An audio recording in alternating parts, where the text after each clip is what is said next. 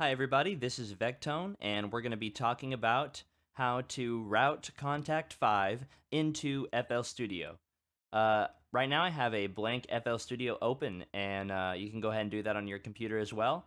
Uh, here we go, here's my instrument, and I have Kontakt 5 opened already. This is just a blank Kontakt 5. So this is what you should see when you open uh, your plugin.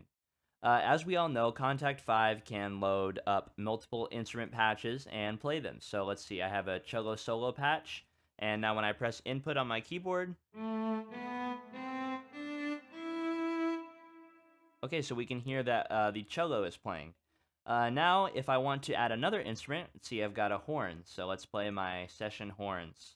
Uh, now we see that the session horns are loaded up directly under the solo cello. Uh, the only problem is that when I play my input, I'm not going to hear the session horns. I will still hear my solo cello. So in order to uh, change to the horns, we just need to go into our piano roll. It's going to be one way to do it, and you can go ahead and go up to this little green color here and just left click it, and we're going to go to channel 2. So now when I play my keyboard, I'm going to hear the instruments. So that is how you change from one instrument in Kontakt to the other. Uh, and if you didn't know how to do that, uh, you would have to load up Kontakt, uh, the plugin itself, for every single instrument. Uh, so that is the first step to understanding how we're going to be routing. So just know that now we can play as many instruments as we want in Kontakt in just one version of it. So now what we're going to do is we're going to route both of these instruments to their own free mixer channels in FL Studio. So we're going to put both of those instruments into channel 1 and channel 2. Uh, so to do that, we're just going to need to take a look at the output. So let's go ahead and uh, click the output tab, and you should get something like this. We're going to have, uh, looks like a mixer, and uh, we're going to have one that says stereo 1, and the rest will be aux 1, 2, 3, and 4. So uh, what we'll be dealing with is our stereo channel. So right now we only have one uh, what we're going to want to do is add more. So we can just go up to our add channels button here, uh, click that, and we're going to see the uh, quantity is how many we're going to add. So, uh, you know, however many instruments you're working with, you would just add that many channels, but we've already got one. So if I want, uh, let's see, three channels, I'm just going to go up and add three. And uh, the number of channels is going to be two. That's going to keep it at stereo.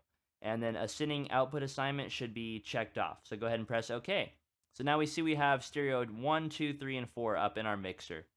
And uh, you can assign instruments to each one of these, and that's exactly what we're going to do. So the next thing we need to do is we're going to go ahead and focus on these little rectangles. You can see stereo 1 is already programmed. It says 1 slash 2. Uh, we're going to need to program stereo 2 by clicking the rectangle, and we'll see we have channel number 1 and 2 and physical out, and they both say not connected. So to change that, we just left click the not connected, and we're, again, we're programming stereo 2. So we see, uh, find the drop down. We see here Kontakt stereo 2, number 1, Kontakt stereo 2, number 2. So these numbers in the bracket represent the channel over here. So for channel 1, we'll do Kontakt stereo 2, 1, and channel 2, we'll do Kontakt stereo 2, 2. All right, and there we go. We just press OK, and then we might get this pop-up message, which uh, tells you to reopen all your plugins after you make changes to the configuration, uh, just go ahead and press OK. And now we see it says 3 and 4 down here.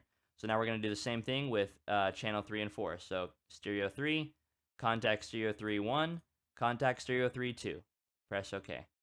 And channel 4, Kontakt stereo 4 1, and Kontakt stereo 4 2. And press OK. So now we've got 1, 2, 3, 4, 5, 6, and 7, 8.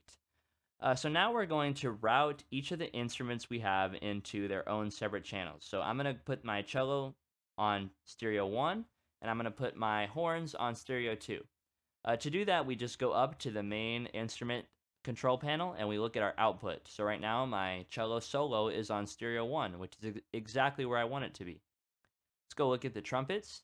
Here we go. The output is on stereo 1, but we want it to be on stereo 2. So that should show up in the drop-down menu after you program it. All right, so there we go. Now when we uh, play input, we should see. Uh, I'm going to go ahead and select my cello, and it should show up in stereo 1 when I play keys. All right, perfect. And now let's go ahead and select our trumpet and test that one out. All right, so now it's showing up in stereo 2.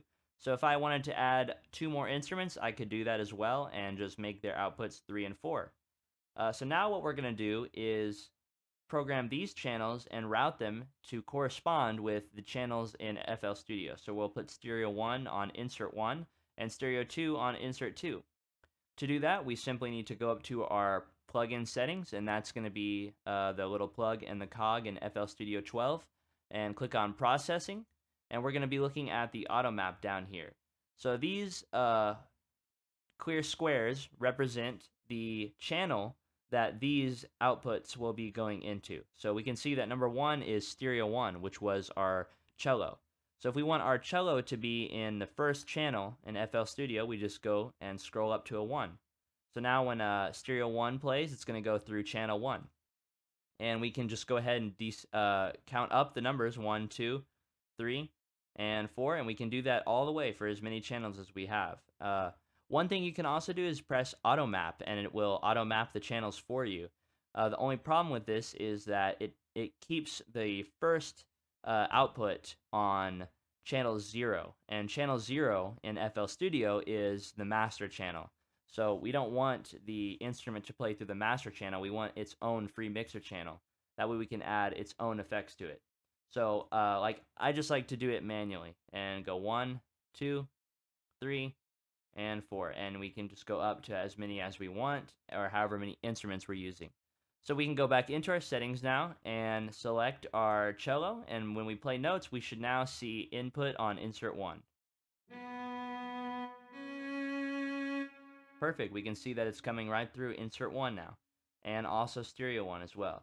So now let's go down to our horns and select those and play our horns. Perfect, you can see input coming right into insert 2, which is exactly what we wanted. Okay, so now uh, I can easily just click on my insert and add effects to them individually. And so uh, if you didn't know how to route this, uh, you would think to assign Kontakt itself to its own free mixer channel. Uh, but then you wouldn't be able to apply the effects to individual instruments. It would all go on to all of the instruments loaded into your single Kontakt. So again, this method helps you save space and uh, it helps you, uh, I guess, keep your instruments individual in their own tracks so you can EQ them, mix them, add effects to them, whatever you want to do. So uh, thank you guys for watching this tutorial. I hope it helps somebody. And uh, if you guys have any questions, make sure to ask me in the comments. And don't forget to like and subscribe for more awesome content.